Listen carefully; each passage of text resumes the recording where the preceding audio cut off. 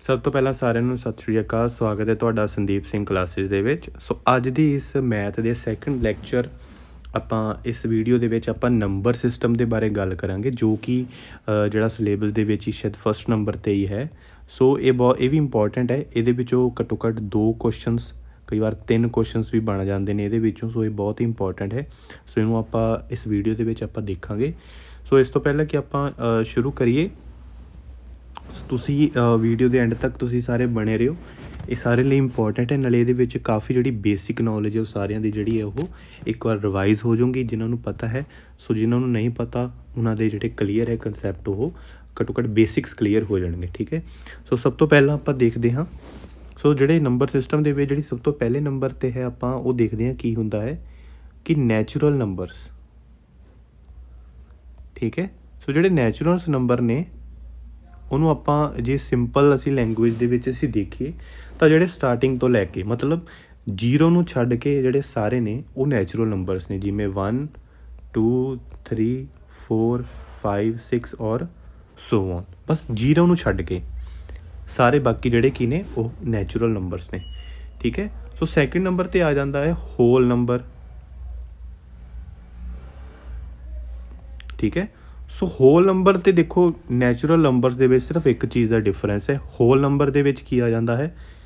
0 ਬਾਕੀ ਸਾਰੇ natural numbers ਹੀ ਹੁੰਦੇ ਨੇ ਇਹਦੇ ਵਿੱਚ। 1, 2, 3, 4, 5 ਠੀਕ ਹੈ? ਸੋ ਮਤਲਬ ਹੋਲ ਨੰਬਰਸ ਕਿਹੜੇ ਹੁੰਦੇ ਨੇ? ਹੋਲ ਦਾ ਮਤਲਬ ਕੀ ਹੁੰਦਾ ਹੈ? ਸਾਰੇ। ਸੋ ਸਾਰਿਆਂ ਦੇ ਵਿੱਚ 0 ਵੀ ਐਡ ਆ ਜਾਂਦਾ ਹੈ। ਠੀਕ ਹੈ? ਸੋ 0 ਤੋਂ ਲੈ ਕੇ ਜਿਹੜੇ ਸ਼ੁਰੂ ਹੁੰਦੇ ਨੇ ਉਹ ਹੋਲ ਨੰਬਰ ਹੁੰਦੇ ਨੇ। ਔਰ ਜਿਹੜੇ 1 ਤੋਂ ਸਟਾਰਟ ਹੁੰਦੇ ਨੇ ਉਹ ਕਿਹੜੇ ਹੁੰਦੇ ਨੇ? ਨੈਚੁਰਲ ਨੰਬਰਸ ਠੀਕ ਹੈ? ਸੋ ਤੀਸਰੇ ਨੰਬਰ ਤੇ ਜਿਹੜੇ ਸਾਡੇ ਕੋਲ ਆ ਜਾਂਦੇ ਨੇ ਈਵਨ ਨੰਬਰਸ ਠੀਕ ਹੈ ਈਵਨ ਨੰਬਰਸ ਕਿਹੜੇ ਹੁੰਦੇ ਨੇ even numbers are always divisible by 2 ਮਤਲਬ ਜਿਹੜੇ 2 ਦੇ ਨਾਲ ਡਿਵਾਈਡ ਹੋ ਜਾਂਦੇ ਨੇ ਉਹ ਕਿਹੜੇ ਹੁੰਦੇ ਨੇ ਈਵਨ ਨੰਬਰ ਮਤਲਬ 2 4 6 8 10 12 ਸੋ ਔਨ ਸੋ ਜਿਹੜੇ 2 ਨਾਲ ਡਿਵਾਈਡ ਹੋ ਜਾਂਦੇ ਨੇ ਉਹ ਕੀ ਹੋ ਜਾਂਦੇ ਈਵਨ ਸੋ ਜਿਹੜੇ 2 ਨਾਲ ਡਿਵਾਈਡ ਨਹੀਂ ਹੁੰਦੇ ਸੋ ਉਹ ਨੰਬਰ ਕਿਹੜੇ ਹੁੰਦੇ ਨੇ? ਉਹ ਨੰਬਰ ਹੁੰਦੇ ਨੇ ਔਡ ਨੰਬਰ ਠੀਕ ਹੈ? ਸੋ ਔਡ ਨੰਬਰ ਮਤਲਬ ਕਿਹੜੇ ਹੋਗੇ ਜਿਹੜੇ 2 ਨਾਲ ਡਿਵਾਈਡ ਨਹੀਂ ਹੁੰਦੇ, ਮਤਲਬ 1 3 5 7 ਠੀਕ ਹੈ? 9 11 13 ਔਰ ਸੋ ਔਨ ਠੀਕ ਹੈ? ਸੋ ਆਪਾਂ ਅੱਗੇ ਚੱਲਦੇ ਹਾਂ। ਸੋ ਇਸ ਤੋਂ ਬਾਅਦ ਔਡ ਨੰਬਰ ਤੋਂ ਬਾਅਦ ਇਹਦੇ ਵਿੱਚ ਅਗਲੇ ਆ ਜਾਂਦੇ ਨੇ ਪ੍ਰਾਈਮ ਨੰਬਰ ਸੋ ਜਿਹੜੇ ਬਹੁਤ ਜ਼ਿਆਦਾ ਇੰਪੋਰਟੈਂਟ ਨੇ। ਠੀਕ ਹੈ? So prime number prime number ਕਿਹੜੇ ਹੁੰਦੇ ਨੇ? Numbers which are divisible by 1 and the number itself ਮਤਲਬ ਕਿ ਜੋ 1 ਨਾਲ ਡਿਵਾਈਡ ਹੋ ਜਾਣ ਔਰ ਜਿਹੜਾ ਉਹ ਨੰਬਰ ਹੈ ਉਹ ਖੁਦ ਦੇ ਨਾਲ ਡਿਵਾਈਡ ਹੋਵੇ। ਠੀਕ ਹੈ? ਸੋ ਕੀ ਹੁੰਦੇ ਨੇ ਪ੍ਰਾਈਮ ਨੰਬਰਸ ਮਤਲਬ 2 3 5 7 11 13 ਹੁਣ ਤੁਸੀਂ ਸਾਰੇ ਦੇਖ ਸਕਦੇ ਹੋ 2 ਜਾਂ ਤਾਂ 1 ਤੇ ਡਿਵਾਈਡ ਹੁੰਦਾ ਹੈ ਜਾਂ 2 ਤੇ ਡਿਵਾਈਡ ਹੁੰਦਾ ਹੈ। 3 ਵੀ ਜਾਂ 1 ਤੇ ਡਿਵਾਈਡ ਹੁੰਦਾ ਹੈ ਜਾਂ 3 ਤੇ। 5 ਵੀ ਜਾਂ 5 ਤੇ ਡਿਵਾਈਡ ਹੁੰਦਾ ਹੈ ਜਾਂ 1 ਤੇ। ਠੀਕ ਹੈ? ਜੋ ਆਪਣੇ ਟੇਬਲ ਤੇ ਔਰ ਜੋ 1 ਨਾਲ ਜਿਹੜੇ ਡਿਵਾਈਡ ਹੁੰਦੇ ਹੋਣ, ਠੀਕ ਹੈ? ਸੋ ਕਿਹੜੇ ਹੁੰਦੇ ਨੇ? ਪ੍ਰਾਈਮ ਨੰਬਰਸ ਠੀਕ ਹੈ? ਸੋ ਪ੍ਰਾਈਮ ਨੰਬਰਸ ਤੋਂ ਜਿਹੜੇ ਅੱਗੇ ਨੰਬਰ ਆ ਜਾਂਦੇ ਨੇ, ਉਹ ਆ ਜਾਂਦੇ ਨੇ composite numbers composite number so composite numbers ਕਿਹੜੇ ਹੁੰਦੇ ਨੇ? So composite numbers which are also divisible by other numbers other than 1 ਮਤਲਬ ਹੁਣ ਇੱਕ ਨੂੰ ਛੱਡ ਕੇ, ਮਤਲਬ ਜਿਹੜੇ ਹੋਰ ਨੰਬਰਾਂ ਤੇ ਵੀ, ਮਤਲਬ 2 ਜਾਂ 2 ਤੋਂ ਵੱਧ ਨੰਬਰਾਂ ਤੇ ਜਿਹੜੇ ਡਿਵਾਈਡ ਹੁੰਦੇ ਹੋਣ, ਉਹ ਕਿਹੜੇ ਹੁੰਦੇ ਨੇ? ਕੰਪੋਜ਼ਿਟ ਨੰਬਰਸ ਠੀਕ ਹੈ? ਹੁਣ ਮਤਲਬ ਜੇ ਐਗਜ਼ਾਮਪਲ ਆਪਾਂ ਲਈਏ 6 12 ਔਰ 15 ਹੁਣ ਦੇਖੋ ਜਿਹੜਾ ਜਿਹੜਾ 6 ਹੈ, ਜਿਹੜਾ 6 ਹੈ ਇਹ 2 ਦੇ ਟੇਬਲ ਤੇ ਵੀ ਜਾਂਦਾ ਹੈ ਔਰ 3 ਦੇ ਟੇਬਲ ਤੇ ਵੀ ਜਾਂਦਾ ਹੈ। ਜਿਹੜਾ 12 ਹੈ, ਉਹ 2 ਤੇ ਵੀ ਜਾਂਦਾ ਹੈ 3 ਤੇ ਵੀ ਜਾਂਦਾ ਹੈ 4 ਤੇ ਵੀ ਜਾਂਦਾ ਹੈ ਔਰ 6 ਤੇ ਵੀ ਜਾਂਦਾ ਹੈ। 15 15 ਕਿਤੇ ਕਿਤੇ ਜਾਂਦਾ ਹੈ, ਦੇਖੋ 3 ਤੇ ਜਾਂਦਾ ਹੈ ਔਰ 5 ਤੇ ਜਾਂਦਾ ਹੈ। ਠੀਕ ਹੈ? ਸੋ ਮਤਲਬ 2 ਔਰ ਮੋਰ ਦੈਨ 2 ਠੀਕ ਹੈ? ਮਤਲਬ ਜਿਹੜੇ ਦੋ, ਮਤਲਬ ਘੱਟੋ ਘੱਟ ਦੋ ਜਿਹੜੇ ਆ ਨੰਬਰ ਉਹ ਉਹਨਾਂ ਨਾਲ ਡਿਵਾਈਡ ਹੋਣੇ ਚਾਹੀਦੇ ਆ। ਠੀਕ ਹੈ? 2 ਔਰ ਮੋਰ ਠੀਕ ਹੈ? ਸੋ ਕੰਪੋਜ਼ਿਟ ਨੰਬਰਸ ਇਹ ਹੁੰਦੇ ਨੇ, ਠੀਕ ਹੈ? ਸੋ ਅੱਗੇ ਚੱਲਦੇ ਹਾਂ ਆਪਾਂ। ਸੋ ਕੰਪੋਜ਼ਿਟ ਨੰਬਰਸ ਤੋਂ ਬਾਅਦ ਕੰਪੋਜ਼ਿਟ ਨੰਬਰਸ ਤੋਂ ਬਾਅਦ ਆ ਜਾਂਦੇ ਨੇ ਇੰਟੀਜਰਸ ਠੀਕ ਹੈ? ਸੋ ਇੰਟੀਜਰਸ ਕਿਹੜੇ ਹੁੰਦੇ ਨੇ? ਇੰਟੀਜਰਸ ਕਈ ਬੜੇ, ਕਈ ਜਿਹੜੇ ਸਟੂਡੈਂਟ ਨੇ ਉਹ ਕਾਫੀ ਇਹਦੇ ਵਿੱਚ ਕਨਫਿਊਜ਼ ਹੁੰਦੇ ਨੇ, ਠੀਕ ਹੈ? ਇੰਟੀਜਰਸ ਨੂੰ ਇੱਕ ਨਾਲੇ ਹੋਰ ਗੱਲ ਇੰਟੀਜਰਸ ਨੂੰ ਅਸੀਂ z ਨਾਲ ਡਿਨੋਟ ਕਰਦੇ ਹਾਂ, ਕਈ ਵਾਰ, ਠੀਕ ਹੈ? ਸੋ ਇਹ ਵੀ ਧਿਆਨ ਰੱਖਣਾ ਹੈ। ਸੋ ਇੰਟੀਜਰਸ ਕੀ ਹੁੰਦਾ ਹੈ? ਮਤਲਬ ਆਪਾਂ ਇਹਨੂੰ ਯਾਦ ਰੱਖੀਏ ਕਿ 네ਗੇਟਿਵ ਇਨਫਿਨਿਟੀ ਤੋਂ ਲੈ ਕੇ ਪੋਜ਼ਿਟਿਵ ਇਨਫਿਨਿਟੀ ਤੱਕ ਜਿਹੜੇ ਸਾਰੇ ਇੰਟੀਜਰਸ ਹੁੰਦੇ ਨੇ, ਮਤਲਬ 네ਗੇਟਿਵ ਤੋਂ ਲੈ ਕੇ ਪੋਜ਼ਿਟਿਵ ਤੱਕ, ਮਤਲਬ -3 -2 -1 0 1 2 3 ਸੋ ਮਤਲਬ -3 ਤੋਂ ਲੈ ਕੇ 3 ਤੱਕ, ਮਤਲਬ ਸੋ ਔਨ ਤੱਕ ਜਿਹੜੇ ਹੈ, ਇਹ ਕਿਹੜੇ ਹੁੰਦੇ ਇੰਟੀਜਰਸ ਮਤਲਬ ਇੰਟੀਜਰ ਦੇ ਵਿੱਚ ਇਹਦੇ ਹੁਣ 네ਗੇਟਿਵ ਨੰਬਰਸ ਇਹਦੇ ਵਿੱਚ ਸਾਰੇ ਆ ਜਾਂਦੇ 네ਗੇਟਿਵ ਵੀ ਆ ਜਾਂਦੇ ਆ, ਠੀਕ ਹੈ? ਸੋ ਮਤਲਬ ਇੱਕ -3 ਤੋਂ ਲੈ ਕੇ -2 ਦੇ ਵਿੱਚ ਜਿੰਨੇ ਵੀ ਨੰਬਰ ਨੇ ਪੁਆਇੰਟਸ ਦੇ ਵਿੱਚ ਜਾਂ ਕਹਿ ਲਈ ਆਪਾਂ, ਤੇ ਉਹ ਸਾਰੇ ਕੀ ਹੋ ਜਾਂਦੇ ਨੇ ਇੰਟੀਜਰਸ ਹੋ ਜਾਂਦੇ ਨੇ। ਮਤਲਬ ਮੇਨ ਅਸੀਂ ਯਾਦ ਰੱਖੀਏ ਕਿ ਮਾਈਨਸ 네ਗੇਟਿਵ ਤੋਂ ਮਾਈਨਸ ਪੋਜ਼ਿਟਿਵ ਤੱਕ ਜਿਹੜੇ ਹੁੰਦੇ ਨੇ, ਉਹ ਕੀ ਹੁੰਦੇ ਨੇ? ਇੰਟੀਜਰਸ ਠੀਕ ਹੈ? ਸੋ ਇਹਦੇ ਵਿੱਚ ਜਿਹੜਾ 0 ਹੈ, ਉਹਦੀ ਇੱਕ ਅਹਿਮੀਅਤ ਹੈ 0 ਕੀ ਹੈ? ਕਿ 0 is a number which is neither positive nor negative ਠੀਕ ਹੈ? ਸੋ ਅੱਗੇ ਚੱਲਦੇ ਹਾਂ।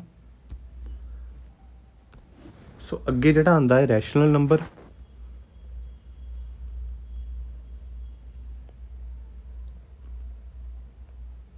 ਸੋ ਠੀਕ ਹੈ rational number so rational number ਕਿਹੜੇ ਹੁੰਦੇ? Numbers which can written in the form of p over q ਮਤਲਬ ਜਿਹੜੇ ਬਟਿਆਂ ਦੇ ਵਿੱਚ ਸਮ ਹੁੰਦੇ ਨੇ ਜਿਹੜੇ ਬਟਿਆਂ ਦੇ ਵਿੱਚ ਨੰਬਰ ਹੁੰਦੇ ਨੇ, ਕੋਈ ਵੀ ਨੰਬਰ ਹੋ ਸਕਦਾ ਹੈ। 2 ਓਵਰ 5 3 ਓਵਰ 5 4 ਓਵਰ 5 ਠੀਕ ਹੈ? ਸੋ ਮਤਲਬ ਪੁਆਇੰਟਸ ਦੇ ਵਿੱਚ ਜਿਹੜੇ ਆ ਜਾਂਦੇ ਨੇ, ਆਪਾਂ ਉਹਨਾਂ ਨੂੰ, ਇਹ ਡੈਸੀਮਲਸ ਦੇ ਵਿੱਚ ਵੀ ਜਿਹੜੇ ਆ ਜਾਂਦੇ ਨੇ, ਉਹ ਸਾਰੇ ਕੀ ਹੁੰਦੇ ਨੇ? ਰੈਸ਼ਨਲ ਨੰਬਰ ਹੁੰਦੇ ਨੇ, ਠੀਕ ਹੈ? ਸੋ ਰੈਸ਼ਨਲ ਨੰਬਰ ਤੋਂ ਬਾਅਦ ਇੱਕ ਇਰਰੈਸ਼ਨਲ ਨੰਬਰ ਹੁੰਦੇ ਨੇ, ਠੀਕ ਹੈ?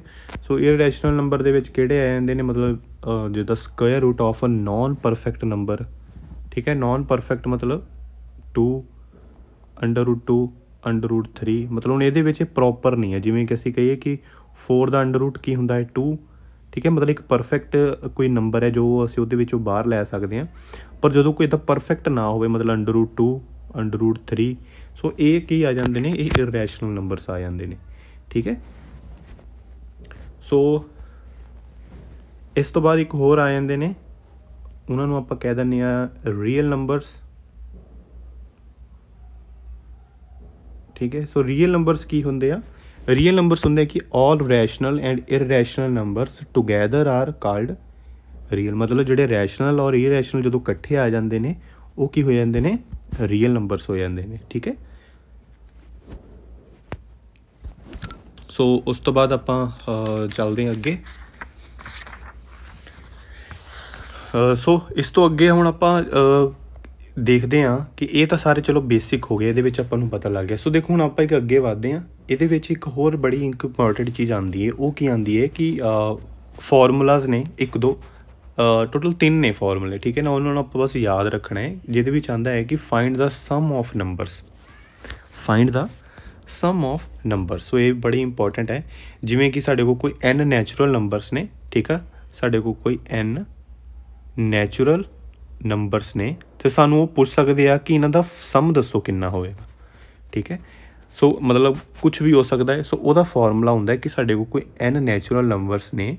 ਸੋ ਉਹਦਾ ਜਿਹੜਾ ਫਾਰਮੂਲਾ ਆ, ਉਹ ਕੀ ਹੁੰਦਾ ਆ? n n 1 ਡਿਵਾਈਡਡ ਬਾਈ 2 ਮਤਲਬ ਇਹਦੇ ਨਾਲ ਅਸੀਂ ਕੋਈ ਵੀ ਵੈਲਿਊ ਕਿੰਨੀ ਵੀ ਵੱਡੀ ਕੋਈ ਵੈਲਿਊ ਹੋਵੇ, ਉਹ ਅਸੀਂ ਆਸਾਨੀ ਦੇ ਨਾਲ ਇਹਨੂੰ ਅਸੀਂ ਫਾਈਂਡ ਕਰ ਸਕਦੇ ਹਾਂ। ਜਿਵੇਂ ਆਪਾਂ ਹੁਣੇ ਇੱਥੇ ਦੇਖ ਲੈਂਦੇ ਹਾਂ ਕਿ ਮੰਨ ਲਓ ਸਾਨੂੰ ਕੋਈ ਕਵੇ ਕਿ ਫਸਟ ਜਿਹੜੇ 10 ਨੇ, ਆਪਾਂ ਚਲੋ ਉਦੀ ਛੋਟੀ ਜੀ ਰਕਮ ਤੋਂ ਸ਼ੁਰੂ ਕਰ ਲੈਂਦੇ ਆ ਨਾ। ਫਸਟ 10 ਜਾਂ 20 ਜਿਹੜੇ ਨੰਬਰਸ ਨੇ, ਉਹਨਾਂ ਦੇ ਤੁਸੀਂ ਨੈਚੁਰਲ ਨੰਬਰਸ ਨੇ, ਉਹਨਾਂ ਦਾ ਸਮ ਦੱਸੋ ਕਿੰਨਾ ਆਵੇਗਾ ਠੀਕ ਹੈ? ਮਤਲਬ ਕਿ ਜਿਹੜੇ ਫਸਟ 10 ਨੇ ਜਾਂ 20 ਨੇ ਨੈਚੁਰਲ ਨੰਬਰਸ ਨੇ, ਸੋ ਉਹਦਾ ਜਿਹੜਾ ਆਨਸਰ ਹੈ ਉਹ ਕੀ ਆਵੇਗਾ? ਸੋ ਅਸੀਂ ਦੇਖ ਸਕਦੇ ਜੇ 10 ਹੈ, ਮਤਲਬ ਕਿ ਸਾਡੇ ਕੋਲ n ਦੀ ਵੈਲਿਊ ਕਿੰਨੀ ਆ ਗਈ? 10 ਸੋ ਅਸੀਂ 10 ਦੀ ਵੈਲਿਊ ਨੇ ਇੱਥੇ ਪੁੱਟ ਕਰ ਦੇਣਾ ਹੈ। ਸੋ ਸਾਡੇ ਕੋਲ ਕੀ ਬਣ ਜਾਣਾ? 10 ਮਲਟੀਪਲਾਈ ਬਾਈ 10 1 ਮਤਲਬ 11 ਡਿਵਾਈਡਡ ਬਾਈ 2 ਸੋ ਇਹਨੂੰ ਸੋਲਵ ਕਰਾਂਗੇ। ਕਿੰਨਾ ਆ ਗਿਆ? ਸਾਡੇ ਕੋਲ 55 ਆਨਸਰ ਆ ਗਿਆ। ਠੀਕ ਹੈ? ਸੋ ਮਤਲਬ ਜਿਹੜੇ ਪਹਿਲੇ 10 ਨੈਚੁਰਲ ਨੰਬਰਸ ਨੇ, ਅਸੀਂ ਜਦੋਂ ਉਹਨਾਂ ਨੂੰ ਐਡ ਕਰਦੇ ਹਾਂ ਤੇ ਸਾਡੇ ਕੋਲ ਆਨਸਰ ਕਿੰਨਾ ਆ ਜਾਂਦਾ ਹੈ? 15 ਠੀਕ ਹੈ? ਸੋ ਐਦਾਂ ਅਸੀਂ ਮਤਲਬ ਕਾਫੀ ਮਤਲਬ ਅੱਗੇ ਤੱਕ ਅਸੀਂ ਇਹਨੂੰ ਇਦਾਂ ਸੋਲਵ ਕਰ ਸਕਦੇ ਹਾਂ, ਜਿਵੇਂ ਸਾਨੂੰ ਕੋਈ ਪੁੱਛ ਲਵੇ ਕਿ ਜਿਹੜੇ ਫਸਟ 10 10 ਚਲੋ ਆਪਾਂ ਕਰ ਲਿਆ ਫਸਟ 100 ਨੈਚੁਰਲ ਨੰਬਰਸ ਦਾ ਤੁਸੀਂ ਸਮ ਦੱਸੋ। ਸੋ ਮਤਲਬ ਹੁਣ ਆਪਣੇ ਕੋਲ ਇੱਥੇ ਜਿਹੜੀ n ਦੀ ਵੈਲਿਊ ਹੈ, ਉਹ ਕਿੰਨੀ ਆ ਗਈ ਸਾਡੇ ਕੋਲ? 100 ਸੋ ਆਪਾਂ 100 ਨੂੰ ਕਿੱਦਾਂ ਕਰਾਂਗੇ? ਇੱਥੇ ਪੁੱਟ ਕਰ ਦਾਂਗੇ ਸਮ ਆਫ 100 ਨੈਚੁਰਲ ਨੰਬਰਸ ਠੀਕ ਹੈ? ਸੋ ਆਪਾਂ ਕੀ ਕਰਾਂਗੇ? ਸਾਡੇ ਕੋਲ ਹੋ ਜਾਣਾ n n 1 2 ਮਤਲਬ 100 100 1 ਮਤਲਬ 101 2 ਸੋ ਇਹਨੂੰ ਅਸੀਂ ਸੋਲਵ ਕਰਾਂਗੇ। ਦੇਖੋ 50 ਆ ਗਿਆ। ਸੋ 50 101 ਇਹਨੂੰ ਅਸੀਂ ਸੋਲਵ ਕਰ ਲਾਂਗੇ ਤੇ ਸਾਡੇ ਕੋਲ ਆਨਸਰ ਆ ਜਾਏਗਾ। ਸੋ ਦੇਖੋ 50 ਨੂੰ ਅਸੀਂ ਜਦੋਂ 100 ਨਾ ਕਰ ਦਈਏ ਸਾਡੇ ਕੋਲ ਕਿੰਨਾ ਆ ਗਿਆ? 5000 ਆ ਗਿਆ। ਸੋ 5000 ਦੇ ਵਿੱਚੋਂ ਹੀ ਇੱਕ ਅਸੀਂ ਕੀ ਕਰੀਏ? 50 ਅਸੀਂ ਕੀ ਕਰ ਦਈਏ? ਮਾਈਨਸ ਕਰ ਦਵਾਂਗੇ।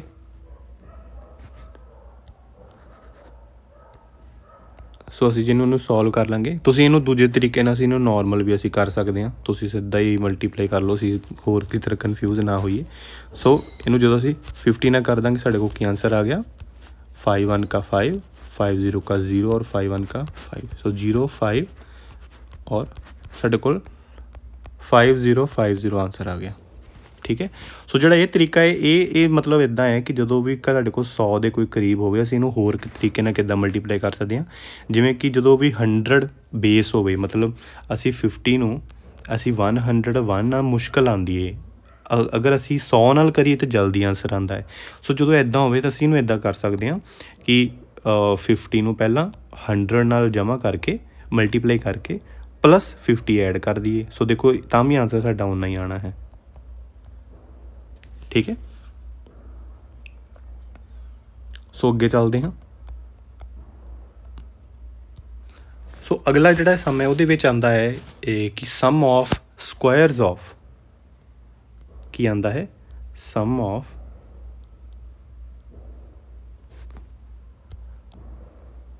sum of squares of first n natural numbers ਠੀਕ ਹੈ? ਸੋ ਉਹਦਾ ਜਦੋਂ ਮਤਲਬ ਹੁਣ ਪਹਿਲਾਂ ਆਪਾਂ ਨੈਚੁਰਲ ਕੀਤਾ, ਹੁਣ ਜੇ ਅਗਰ ਉਹਨਾਂ ਦਾ ਸਕੁਆਇਰ ਹੋਵੇ, ਠੀਕ ਹੈ? ਮਤਲਬ ਕਿ ਜਦ ਮੰਨ ਲਓ ਸਾਡੇ ਕੋਲ ਇਦਾਂ ਹੋਵੇ 1 ਦਾ ਸਕੁਆਇਰ 2 ਦਾ ਸਕੁਆਇਰ 3 ਦਾ ਸਕੁਆਇਰ ਠੀਕ ਹੈ? ਸੋ ਔਨ ਇਦਾਂ ਹੋਵੇ ਸਾਡੇ ਕੋਲ। ਜਦੋਂ ਇਦਾਂ ਹੋਊਗਾ ਤੇ ਉਹਦਾ ਸਾਡਾ ਫਾਰਮੂਲਾ ਕੀ ਹੁੰਦਾ ਹੈ? N n 1 ਠੀਕ ਹੈ? ਔਰ 2 n 1 ਡਿਵਾਈਡਡ ਬਾਈ 6 ਠੀਕ ਹੈ? ਮਤਲਬ ਸਾਡੇ ਕੋਲ ਅਗਰ ਸਕੁਆਇਰਸ ਦੇ ਵਿੱਚ ਇਦਾਂ ਨੰਬਰ ਹੋਣਗੇ, ਤੇ ਅਸੀਂ ਆਸਾਨੀ ਦੇ ਨਾਲ ਕੀ ਕਰ ਸਕਦੇ ਹਾਂ? ਅਸੀਂ ਨੈਚੁਰਲ ਨੰਬਰਸ ਜਿਹੜੇ ਨੇ ਸਕੁਆਇਰਸ ਨੇ ਉਹਨਾਂ ਦੇ ਅਸੀਂ ਉਹਨਾਂ ਦਾ ਜਿਹੜਾ ਆਨਸਰ ਆਰਾਮ ਦੇ ਨਾਲ ਕੱਢ ਸਕਦੇ ਹਾਂ। ਸੋ ਅਗਰ ਇਹਦਾ ਅਸੀਂ ਨਾਰਮਲੀ ਇੱਕ ਦੇਖੀਏ ਕਰਕੇ ਕਿ ਅਸੀਂ ਕਹੀਏ ਕਿ ਫਰਸਟ 10 ਨੈਚੁਰਲ ਨੰਬਰਸ ਦੇ ਸਕੁਆਇਰ ਦਾ ਤੁਸੀਂ ਦੱਸੋ ਕੀ ਆਵੇਗਾ। ਸੋ ਇਹਦੇ ਵਿੱਚ ਸਾਡੇ ਕੋਲ n ਦੀ ਵੈਲਿਊ ਕੀ ਹੋ ਜਾਣੀ ਹੈ? 10 ਮਤਲਬ ਪਹਿਲੇ 10 ਜਿਹੜੇ ਨੰਬਰਸ ਨੇ ਉਹਨਾਂ ਦੇ ਸਕੁਆਇਰਸ ਦਾ ਸਮ ਕੀ ਹੋਵੇਗਾ?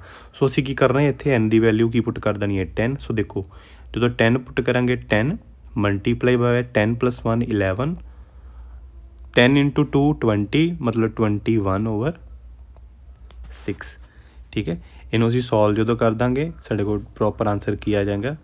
385 ਠੀਕ ਹੈ? ਸਾਡੇ ਕੋਲ ਇਹ ਆਸਾਨੀ ਦੇ ਨਾਲ ਇਹ ਚੀਜ਼ ਸਾਡੇ ਕੋਲ ਸੋਲਵ ਹੋ ਜਾਣੀ ਹੈ। ਸੋ ਇਹ ਹੋ ਗਿਆ। ਸੋ ਅੱਗੇ ਚੱਲਦੇ ਹਾਂ।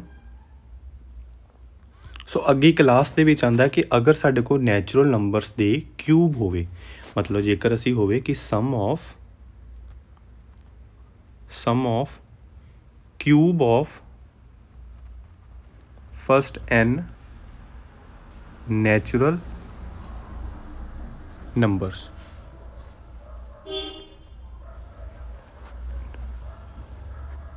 Natural numbers ਠੀਕ ਹੈ ਸੋ ਦੇਖੋ ਕਿਊਬ ਆ ਗਿਆ ਮਤਲਬ ਸਾਡੇ ਕੋਲ ਅਗਰ ਇਦਾਂ ਹੋਵੇ ਕਿ 1 ਦਾ ਕਿਊਬ ਪਲੱਸ 2 ਦਾ ਕਿਊਬ ਪਲੱਸ 3 ਦਾ ਕਿਊਬ ਪਲੱਸ 4 ਦਾ ਕਿਊਬ ਇਦਾਂ ਸੋ ਔਨ ਐ ਹੋਵੇ ਤੇ ਸਾਡੇ ਕੋਲ ਕੀ ਫਾਰਮੂਲਾ ਹੋਵੇਗਾ ਠੀਕ ਹੈ ਸੋ ਉਹਦਾ ਫਾਰਮੂਲਾ ਕੀ ਹੁੰਦਾ ਹੈ? ਸਿੰਪਲ ਸਿੰਪਲ ਜਿਹੜਾ ਫਰਸਟ ਦੇਖਿਆ ਸੀ ਆਪਾਂ ਨੈਚੁਰਲ ਨੰਬਰਸ ਦਾ, ਬਸ ਉਹਦਾ ਕੀ ਹੋ ਜਾਣਾ ਹੈ? ਸਕੁਆਇਰ ਹੋ ਜਾਣਾ ਸੋ n n 1 ਓਵਰ 2 ਫਿਰ ਕੀ ਆਣਾ ਹੈ? ਹੋਲ ਦਾ ਸਕੁਆਇਰ ਠੀਕ ਹੈ? ਬਸ ਇੰਨਾ ਫ਼ਰਕ ਹੈ। ਸੋ ਜਦੋਂ ਅਸੀਂ ਇਹਨੂੰ ਸੋਲਵ ਕਰ ਲਵਾਂਗੇ, ਤੇ ਸਾਡੇ ਕੋਲ ਆਨਸਰ ਆ ਜਾਏਗਾ। ਠੀਕ ਹੈ? ਸੋ ਇਹਦੇ ਵਿੱਚ ਅਸੀਂ ਕੋਈ ਵੀ ਅਸੀਂ ਪੁੱਟ ਕਰਕੇ ਦੇਖ ਲਈਏ। ਮਤਲਬ, ਜੇ ਆਪਾਂ ਦੇਖ ਲਈਏ ਕਿ ਫਰਸਟ ਜਿਹੜੇ 20 ਫਰਸਟ ਜਿਹੜੇ 20 ਨੰਬਰਸ ਨੇ ਨੈਚੁਰਲ ਨੰਬਰਸ ਨੇ, ਅਗਰ ਉਹਨਾਂ ਦਾ ਅਸੀਂ ਕਿਊਬ ਦੇਖੀਏ ਸਾਰਿਆਂ ਦਾ, ਮਤਲਬ ਕਿ 1 ਦਾ ਕਿਊਬ 2 ਦਾ ਕਿਊਬ 3 ਦਾ ਕਿਊਬ ਇਦਾਂ ਕਰਦੇ ਕਰਦੇ ਮਤਲਬ 20 ਦਾ ਕਿਊਬ ਇਹਨਾਂ ਦਾ ਸਮ ਕੀ ਹੋਵੇਗਾ? ਸੋ ਫਾਰਮੂਲੇ ਦੇ ਅਕੋਰਡਿੰਗ ਅਸੀਂ ਦੇਖਦੇ ਹਾਂ, ਆਪਾਂ ਵੈਲਿਊ ਪੁੱਟ ਕਰ ਦਾਂਗੇ। ਠੀਕ ਹੈ? ਸੋ ਮਤਲਬ n ਕਿੰਨਾ ਹੋ ਗਿਆ ਸਾਡੇ ਕੋਲ? 20 ਸੋ ਮਤਲਬ 20 ਮਲਟੀਪਲਾਈ ਬਾਈ 20 1 ਮਤਲਬ 21 ਠੀਕ ਹੈ? ਡਿਵਾਈਡਡ ਬਾਈ 2 ਤੇ ਸਾਰੇ ਦਾ ਸਕੁਆਇਰ ਠੀਕ ਹੈ? ਇਹਨੂੰ ਜੇ ਅਸੀਂ ਤੁਸੀਂ ਸੋਲਵ ਕਰਨਾ ਹੈ ਥੋੜਾ ਜਿਹਾ ਅਸੀਂ ਇਹਨੂੰ ਕਰ ਸਕਦੇ ਹਾਂ, ਮਤਲਬ ਇਹਨੂੰ 10 ਨਾਲ ਮਲਟੀਪਲਾਈ ਕਰਤਾ। ਸੋ ਜਦੋਂ ਇਹਨੂੰ ਸਾਰੇ ਨੂੰ ਅਸੀਂ ਸੋਲਵ ਕਰ ਦਾਂਗੇ, ਸਾਡੇ ਕੋਲ ਆਨਸਰ ਕਿੰਨਾ ਆਵੇਗਾ? 44100 ਠੀਕ ਹੈ? ਸੋ ਇਹ ਸਾਡੇ ਕੋਲ ਇਹਦਾ ਆਨਸਰ ਆ ਜਾਣਾ ਹੈ। ਠੀਕ ਹੈ? ਸੋ ਤੁਸੀਂ ਇਹ ਤਿੰਨ ਫਾਰਮੂਲੇ ਆਪਾਂ ਕੀਤੇ ਨੇ। ਇਹ ਤਿੰਨ ਫਾਰਮੂਲਿਆਂ ਨੂੰ ਜਿਹੜਾ ਹੈ, ਉਹ ਤੁਸੀਂ ਮਤਲਬ ਯਾਦ ਉਸ ਨੂੰ ਜ਼ਰੂਰ ਰੱਖਣਾ ਹੈ। ਠੀਕ ਹੈ? ਸੋ ਅਖੀਰ ਦੇ ਵਿੱਚ ਬਸ ਇੱਕ ਹੋਰ ਇੰਪੋਰਟੈਂਟ ਜਿਹੜਾ ਟੌਪਿਕ ਹੈ, ਉਹ ਉਹ ਦੇਖਣਾ ਹੈ ਆਪਾਂ। ਉਹ ਹੈ ਕਿ ਇੱਕ ਦੋ ਟਰਮਸ ਬਹੁਤ ਜ਼ਿਆਦਾ ਯੂਜ਼ ਹੁੰਦੀਆਂ ਨੇ। ਪੇਪਰ ਦੇ ਵਿੱਚ ਲਾਸਟ ਈਅਰ ਵੀ ਆਇਆ ਸੀ। ਉਹ ਹੈ local local value and face value ਠੀਕ ਹੈ? ਸੋ ਦੇਖੋ ਜਿਹੜਾ ਲੋਕਲ ਵੈਲਿਊ ਹੈ ਲੋਕਲ ਵੈਲਿਊ ਕਿਹੜੀ ਹੁੰਦੀ ਹੈ? ਲੋਕਲ ਵੈਲਿਊ ਕਿਹੜੀ ਹੁੰਦੀ ਹੈ? ਮਤਲਬ ਲੋਕਲ ਨੂੰ ਪਲੇਸ ਵੈਲਿਊ ਵੀ ਕਹਿ ਦਿੰਦੇ ਆਪਾਂ। ਪਲੇਸ ਵੈਲਿਊ ਠੀਕ ਹੈ? ਸੋ ਲੋਕਲ ਵੈਲਿਊ ਕੀ ਹੁੰਦੀ ਹੈ? ਕਿ place where the digit is ਠੀਕ ਹੈ? ਪਲੇਸ ਵੈਲਿਊ ਕੀ ਹੁੰਦੀ ਆ? ਕਿ ਵੇਅਰ ਦਾ ਡਿਜਿਟ ਇਜ਼ ਤੇ ਫੇਸ ਵੈਲਿਊ ਕੀ ਹੁੰਦੀ ਹੈ? ਕਿ ਉਹ ਫੇਸ ਵੈਲਿਊ ਹੁੰਦੀ ਹੈ, ਉਹੀ ਨੰਬਰ ਹੀ।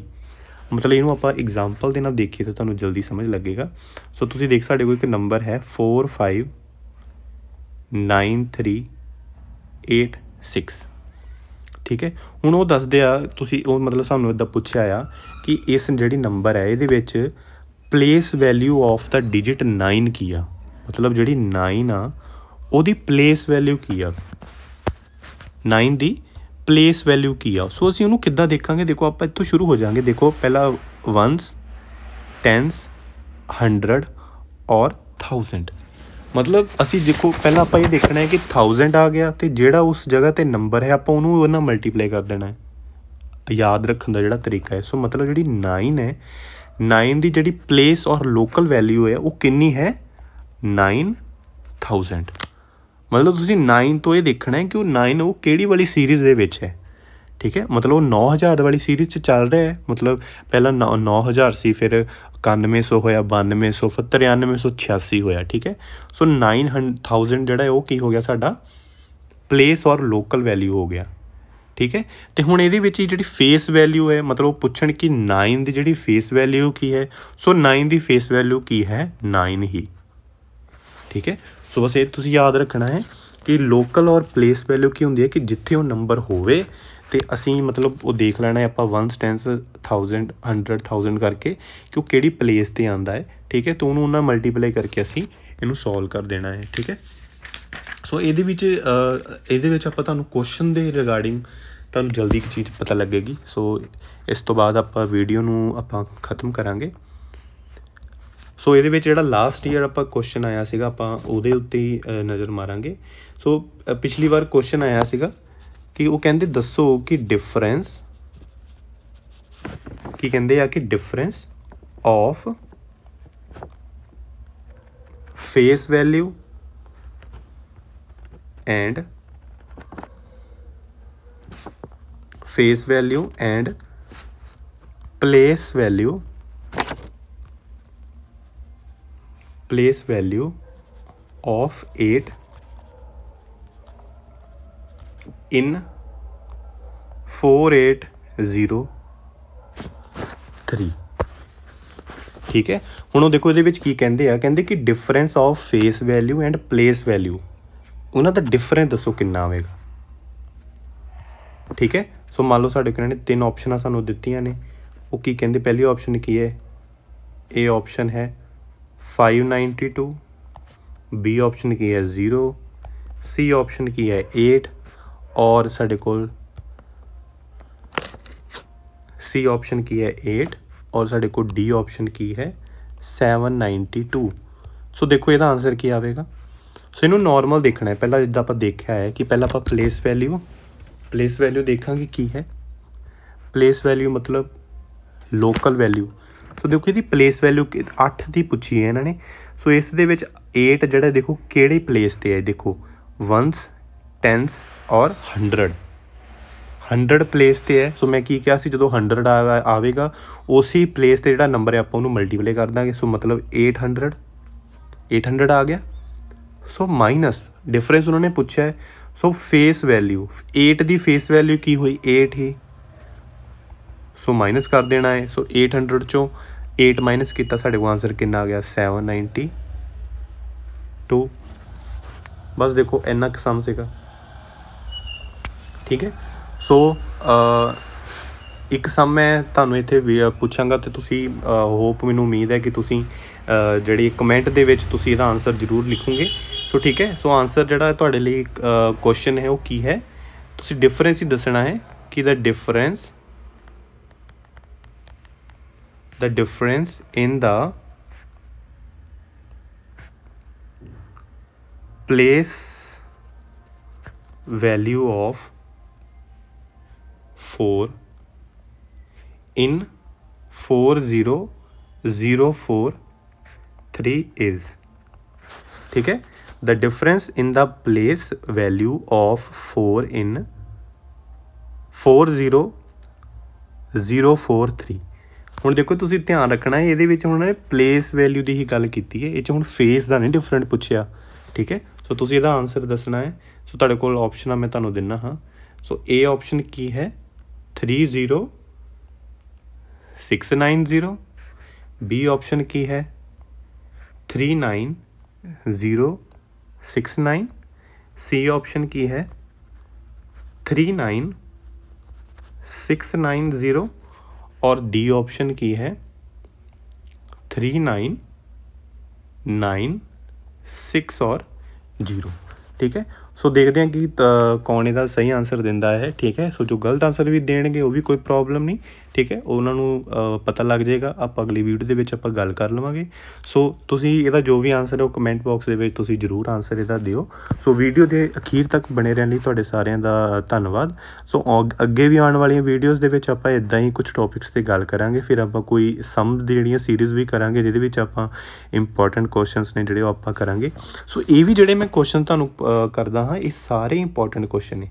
ਇਹ ਪਿਛਲੇ ਸਾਲ ਜਿਹੜੇ ਨੇ, ਇਹ ਆਏ ਹੋਏ ਕੁਐਸਚਨ ਨੇ। ਇਸ ਲਈ ਮੈਂ ਉਹਨਾਂ ਨੂੰ ਹੀ ਪਿਕ ਕਰਕੇ ਉਸ ਦੇ ਹਿਸਾਬ ਦੇ ਨਾਲ ਹੀ ਮੈਂ ਵੀਡੀਓ ਜਿਹੜੀ ਹੈ ਬਣਾ ਰਿਹਾ ਹਾਂ, ਠੀਕ ਹੈ? ਸੋ ਵੀਡੀਓ ਦੇ ਅਖੀਰ ਤੱਕ ਬਣੇ ਰਹਿਣ ਲਈ ਤੁਹਾਡੇ ਸਾਰਿਆਂ ਦਾ ਧੰਨਵਾਦ। ਸਤਿ ਸ਼੍ਰੀ ਅਕਾਲ।